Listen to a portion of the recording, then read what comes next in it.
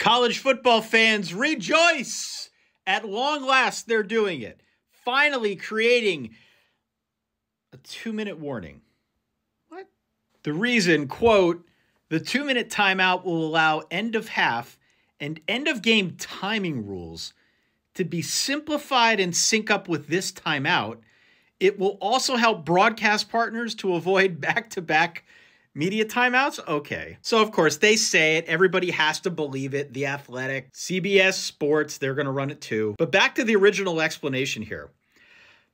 This feels like bullshit, right? This is kind of a word salad, right? When has college football done anything in like the last two years that meant fewer commercial breaks? So, just because they are saying this here and it sounds very official, I I don't think that means we should believe it. I really don't think we should.